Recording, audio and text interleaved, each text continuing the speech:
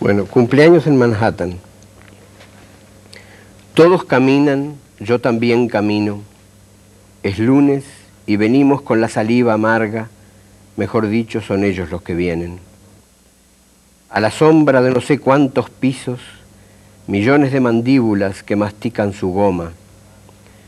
Sin embargo, son gente de este mundo, con todo un corazón bajo el chaleco.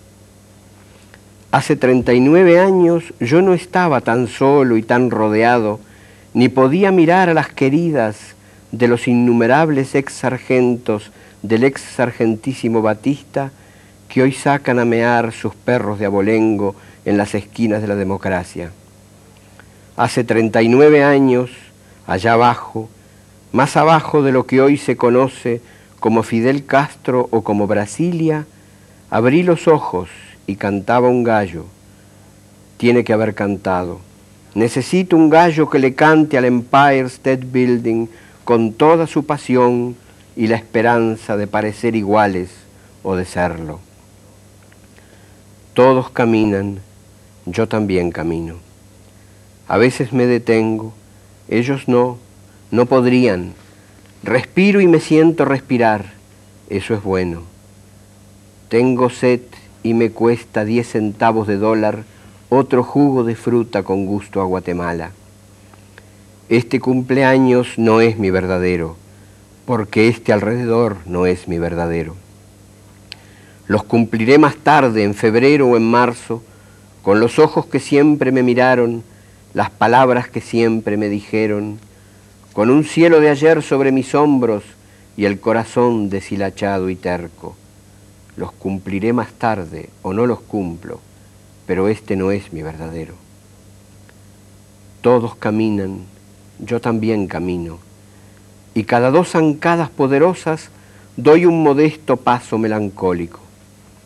Entonces los becarios colombianos y los taximetristas andaluces y los napolitanos que venden pizza y cantan y el mexicano que aprendió a mascar chicles y el brasileño de insolente fotómetro, y la chilena con su amante gringo, y los puertorriqueños que pasean su belicoso miedo colectivo, miran y reconocen mi renguera, y ellos también se aflojan un momento y dan un solo paso melancólico como los autos de la misma marca que se hacen una seña con las luces.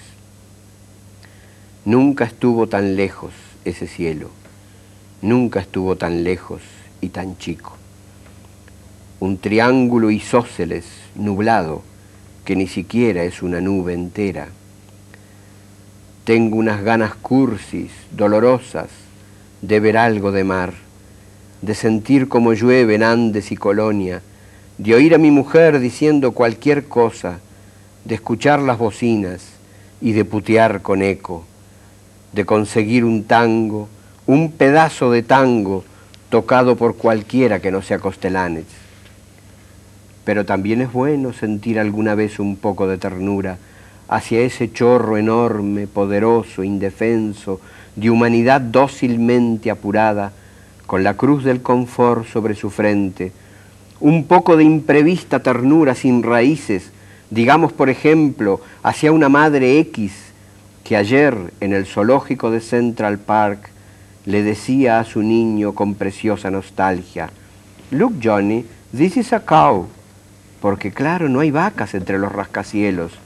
Y otro poco de fe, que es mi único folclore para agitar como un pañuelo blanco cuando pasen o simplemente canten las tres clases de seres más vivos de este norte, quiero decir los negros, las negras, los negritos.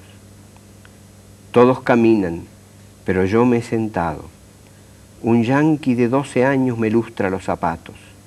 Él no sabe que hoy es mi cumpleaños, ni siquiera que no es mi verdadero. Por mi costado pasan todos ellos. ¿Acaso yo podría ser un Dios provisorio que contemplara inerme su rebaño? ¿O podría ser un héroe más provisorio aún y disfrutar mis trece minutos estatuarios?